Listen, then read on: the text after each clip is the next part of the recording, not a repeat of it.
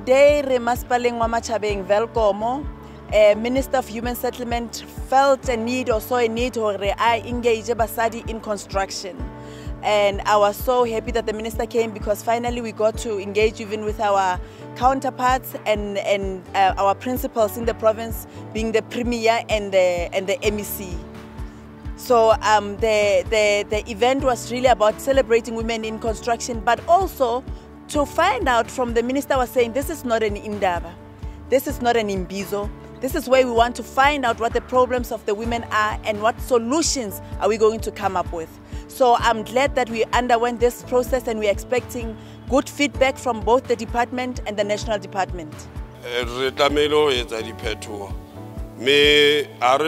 tjena because there is a lot that we will be doing We'll come and then uh, e tla bonahala ka diketso. So far hona jwale it has been disappointing. In fact i wouldn't even like to say anything to you because ha ona ntho e tshwareha ke from the last time re buile this is what we are doing.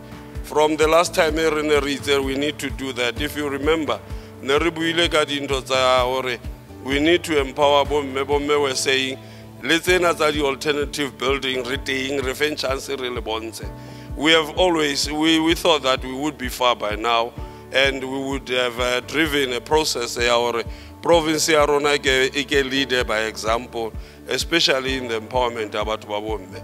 So i think go nna o o bohloko gore ke nene ke phetaphete ntho e lengwe that's why reng i wish i was not expected to say anything up until re etsa se tlameileng re You are now in a new business plan. You are on procurement. We want to see women given being being given these opportunities. They can do it. And let me tell you, in provinces where I've seen projects run by women, they don't leave projects unfinished. It's not a myth.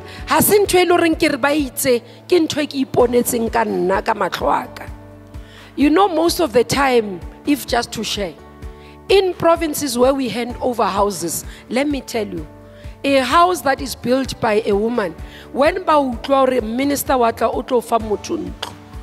most of the time those houses are fihla ba re ebile le furniture out of their pockets. These are women who are given an opportunity. Because when women are given an opportunity they understand a concept of building a society. Now you are denying yourself an opportunity as free state to be able to benefit in this building of an, a society. Mare re dumellane re le lefapha hore matlo ana a auweng ke bomme ha o so qetuwe ka diphuputso ho fumanetse hore matlo a lona a auwe hantle ho tlamehile ho patalwe patala ha wa tlameha e fete kgwedi ena ya bomme e sa etsagale ke decision e re nkileng hore ba ha kgwedi ena e fela go tlamehile be re qetile di di kao fela tse reisitsweng ke batho ba bomme moo ba ileng matlo kosa se matlo a mangata